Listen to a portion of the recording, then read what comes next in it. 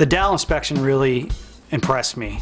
Seeing the, uh, the inspection of each dowel, looking for uh, blemishes, um, grain uh, characteristics. Like every like 15 minutes, they stop and they they calibrate, and there's a lot of random auditing and sampling that goes on to make sure that the sticks are coming out the way they're supposed to. Here, every dowel is categorized and inspected based on a long list of characteristics. Grain straightness, color, blemishes, any imperfections are all considered. I think the, the thing that was very clear there is that the two gentlemen that are in that area are probably the most important people in that manufacturing process because they're the ones that are really going to determine what wood is going to be uh, used for what sticks. This inspection results in one of four scenarios. A dowel meeting all the specifications is categorized as a Vic white stick. A dowel meeting the standards for all physical properties but has cosmetic issues becomes a Vic color stick that will get finished with an opaque color.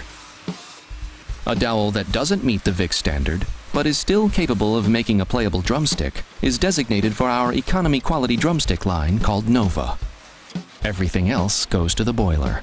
I think the step that I really enjoyed the most, because probably because I was up close and personal at this particular station, was where the uh, the two guys who are sort of examining the grains. They check the grain of the wood. They decide which is the tip end, which is the butt end, by looking at the grain. Every dowel is positioned so that the straightest grain ends up at the tip of the stick. I mean, that really surprised me that that he uh, that that the person making those decisions, he's, he's deciding this is where the, the straightest grains are, so this is going to be where the tip's going to go. And he puts them all in, in order. And then he decides, well, some of these are going to be colored sticks, and some of these are going to be clear sticks, depending on if there's some coloration in the wood itself.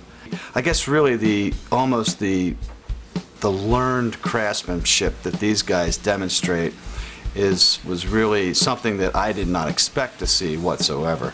And you can tell they take great care in that process.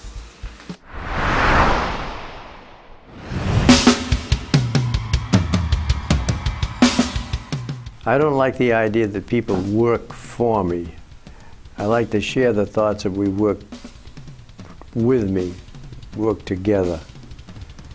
There's something about that spirit that's more my natural instinct. The whole process of making a Vic Firth drumstick is so elaborate and the people behind these drumsticks are amazing engineers, people that really love wood, think wood 24 hours a day.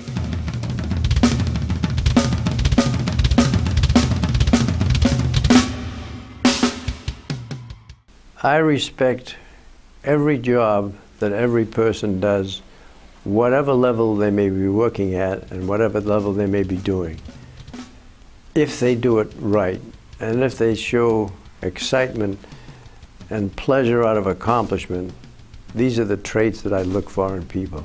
You know, a lot of us drummers, sometimes we have no idea the hard work and effort that goes into making a pair of drumsticks. And I can tell you, Vic Firth has the best people in the industry.